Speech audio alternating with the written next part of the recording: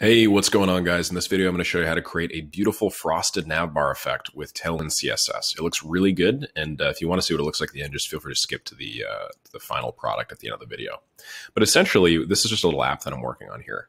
And uh, we have this navbar up top. We've created it. It's really pretty. It's also like super sexy, mobile responsive, and, and all that fun stuff. But assuming we have this navbar, how do we add kind of frosted functionality to it? How do we provide that really cool kind of blur on the background? Tailwind doesn't actually have an organic way to add blur to the background, uh, but we can just use a simple CSS property to kind of fix that up for us. So we have this navbar, just really quickly walking you guys through it. Uh, this is what the template looks like. I'm using Nuxt here, which is a framework that uses Vue. So if you guys are using just plain old HTML, just kind of remove all these Vue, uh, uh, remove the Vue file extension, and then remove like this little template tag, and it's basically the same thing. Anyway, the very first and kind of uh, parent div here, the, the one that's kind of at the highest level of the hierarchy, is this one. We have a background of gray 900 and it's width full. So it stretches across the entire width of the page.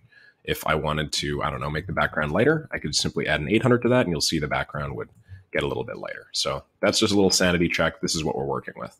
Inside of that, we have another uh, little nav class here. This is with semantic HTML markup. Highly recommend you guys use that. And that's just a little smaller container, about this wide, that just contains, uh, uh, you know, most of our navbar content.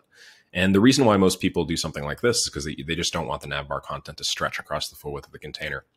Usually looks a little bit better if it's constrained and it kind of lines up with the rest of your content. But anyway, let's say I wanted to make this a little bit smaller. All I need to do is change that max width screen XL to max width screen uh, LG. so you can see how that lines up. Sorry, my voice is a little hoarse. I, I'm just coming over a cold, so uh, hopefully that doesn't bother you guys too much. But essentially, how do we go from this to a beautiful frosted navbar look? Well, it's actually super simple. First thing you have to do is you have to go to the parent container, the one that contains your background color, basically the thing that you want to make frosted. And uh, you have to add a background opacity. Um, let's do 80 for now, just to give you guys a brief look at what this uh, what this does. But basically, you have to add this background opacity utility class, and you can change whatever the opacity is by going, you know, 50, 60, 70, 80, 90, so on and so forth. Tailwind's really cool, and it allows you to add an opacity layer just to that uh, uh, background rather than, you know, everything. And that's how you go from what we had before. Let me just see if I can do this real time. This to uh, that. So now we've basically accomplished the first issue here, and that first issue was how do we, you know, make the background a little bit translucent. The frosting effect actually goes a little bit further than that, though. In order to add frosting, we have to add another class here called BG Clip Padding. And then let's add our own custom uh, background filter class, or like, let's do blur filter. Actually, I think I'm doing blur backdrop filter or something like that. Let's just call it blur backdrop filter. And now we're going to define that class elsewhere in our uh, CSS. So if you guys are doing this in, you know, like a simple HTML file, uh, you, then you guys would have a style sheet, or you guys could just do that at the top of the page. In my case, the way that Vue lays things out, we do it at a style tag down at the very bottom. So I've actually already created the class here. I've called it backdrop filter. Uh, but let's say I want to create a new class called blur backdrop filter. I simply need to add these two specifications. The first is backdrop filter, and the second is, uh, I believe, specific to uh, I think that's Mozilla Firefox. So it's not like a polyfill, rather, it's just like uh, more functionality on, on different browsers because not all browsers support this natively. Um, in this case, we have a five pixel blur, but we can ramp up the blur if we want. Let's stick with five and, and let me show you guys what it looks like.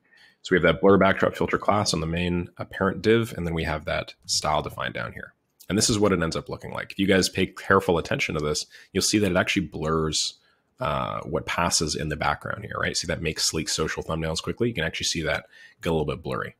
Let's say we want to make it a little more blurry. Let's say uh, we do eight pixels. You'll see that this will blur out even more. Typically for like a, a good frosted look, I like something between like five, maybe six. Let's do six.